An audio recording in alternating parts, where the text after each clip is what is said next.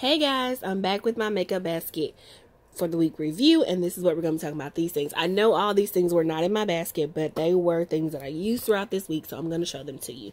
Let's start with this Fenty Beauty Contour Stick. I love it. I have it in the shade Truffle. It is really, really good. Keeping that. Let's talk about something I'm not keeping. The Too Faced Born This Way Foundation. Um, I have it in shade Chestnut, which is a great summer match, but it's a good color match. I just don't love the formula, and I do tend to like more dewier skin-like finishes for me in the summer, but this just is not the one. I look 80 years old, and so she gotta go. She's gonna go in the declutter pile, speaking of which. Speaking of things that made my skin look crazy this, this week, this Tarte Shape Tape. I don't know if I want to declutter and get rid of it completely. If I do, I have a best friend. She wears deep I also don't know how much is left in here because I've had this. Actually, I haven't had this one. I finished one this year and then I opened this one. So this one is actually fairly new. So I'll probably just send it to her. Let's be real. This is my little MAC. Because that wasn't working, I pulled out this MAC little compact duo in NW40 and NC45, which I know always work. The NW40 is great for correcting my under eye circles.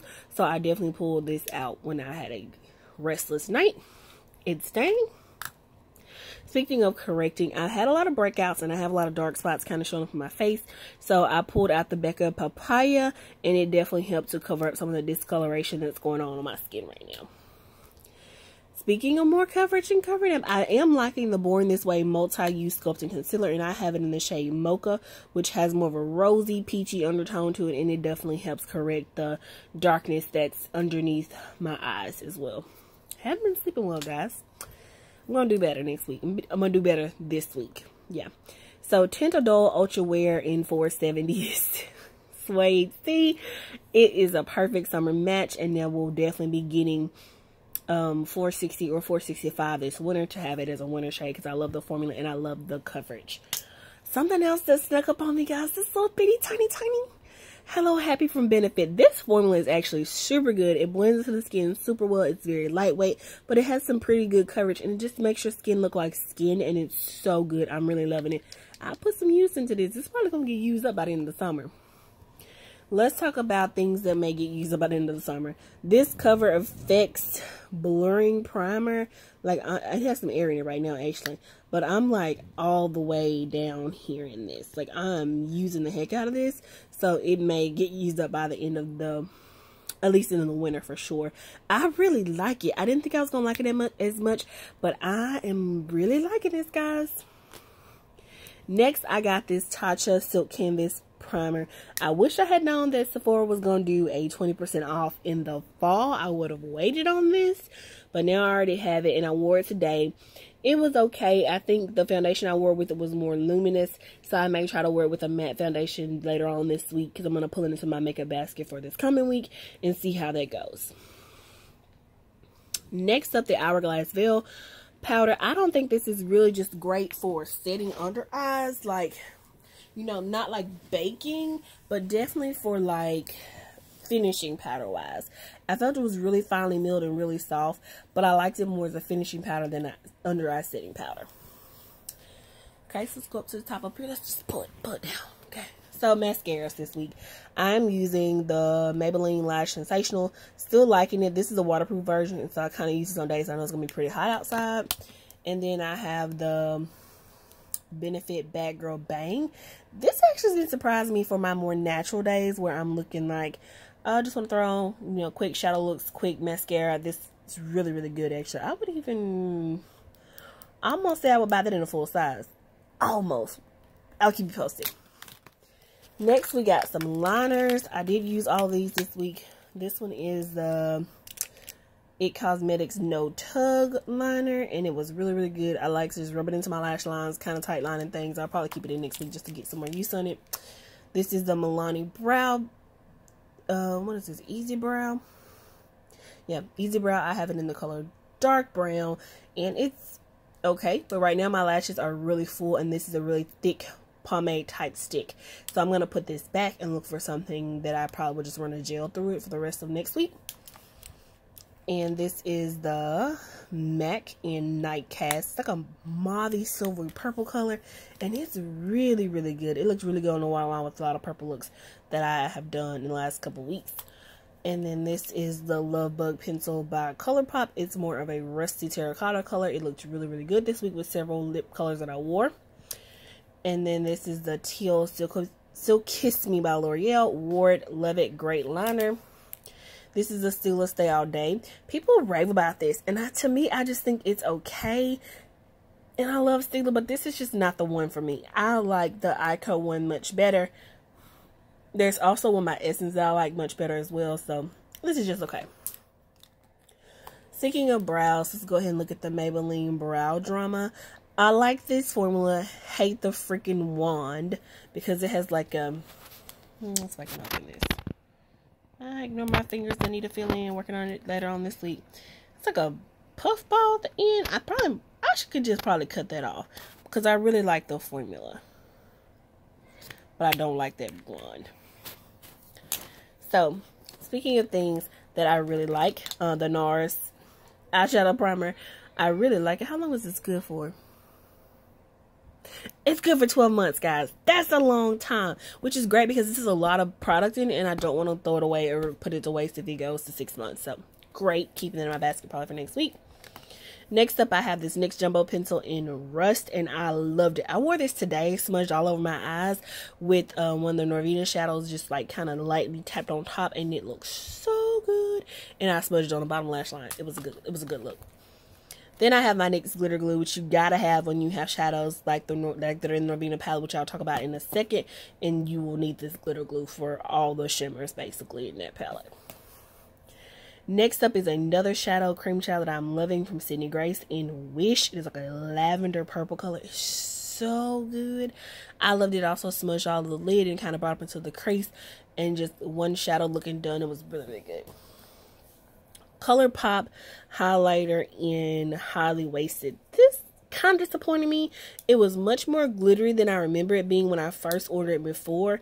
I think just the color is kind of peachy, but a lot more glitter than base color is much more lighter I think than when they first put out this color Laura Geller blush in I want to say this is Plumberry yes hi Baked Gelato Vivid Swirl blush in Plumberry so excited I remember the name and it's so good it's just like a deep mauve color it's so good I also wore this today with my look I had a monochromatic look going Bobbi Brown gel liner. I broke this out because the Stila just wasn't doing it for me to just kind of give me that deep lash line color I wanted. So I broke this out. This is just always really good. I just have it in a little size right here. MAC Fix Plus. Staple in my collection. I have backup on backup on backup on backup for real because I love it. We'll never be without it. It sits all my powders every single day and it's so good. Dose of Colors times Sarah E. I love Sarah E. This highlighter, guys. I'm, I'm gonna just show you. Like I didn't have this when I did my highlighter collection, and this is.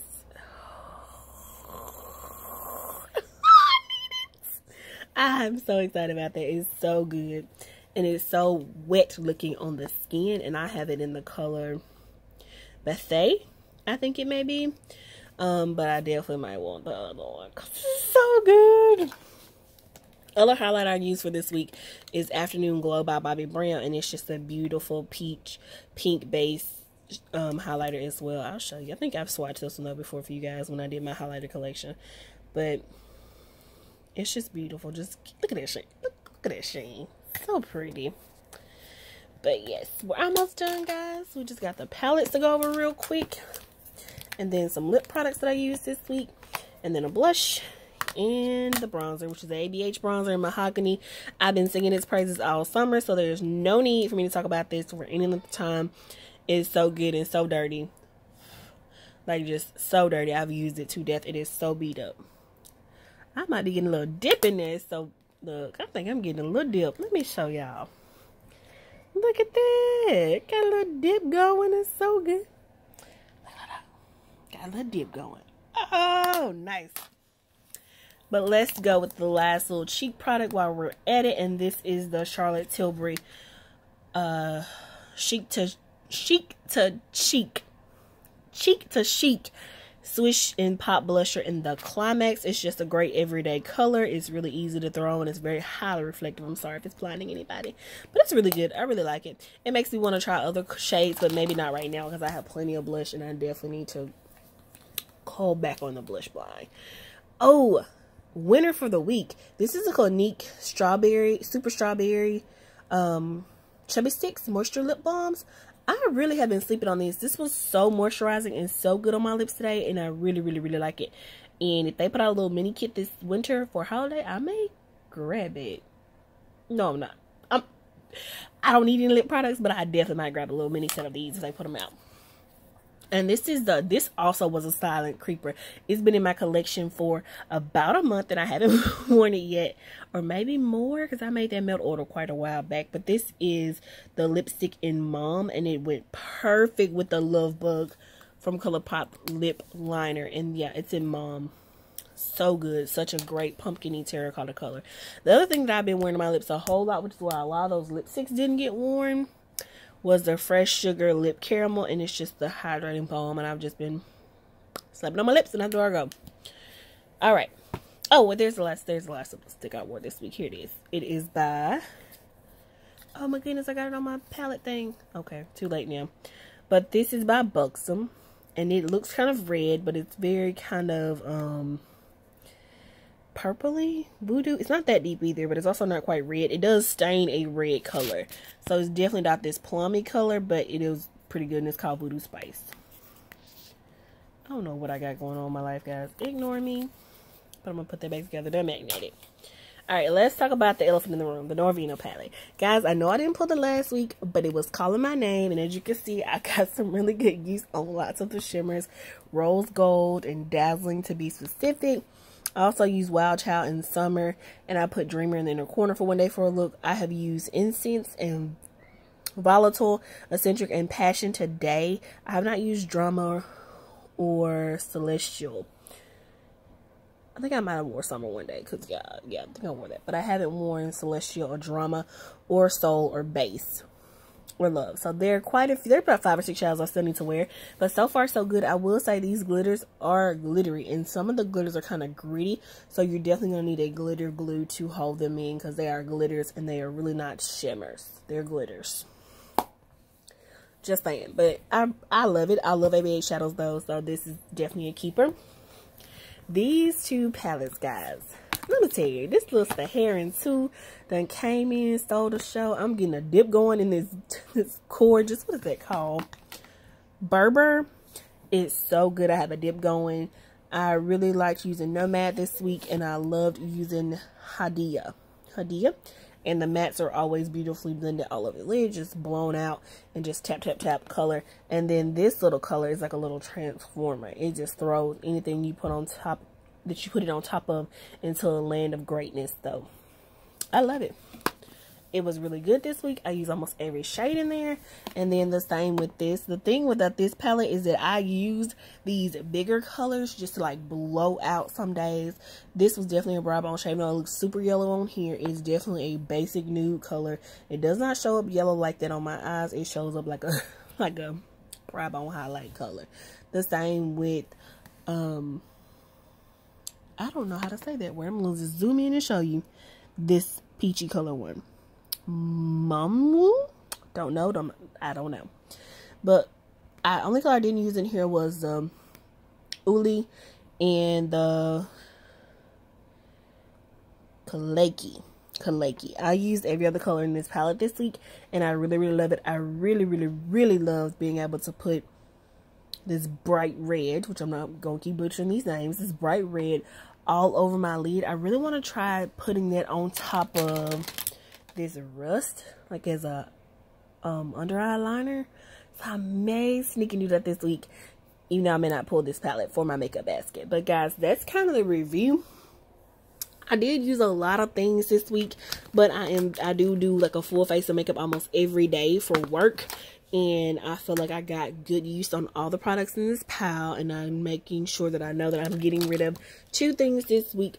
You know what? I'm not gonna keep this Holly Wasted. I'm not gonna deal with that, all that glitter. So Holly Wasted, uh, Too Faced Born This Way, and then the Tarte Shape Tape and Deep are all going out of my collection this week.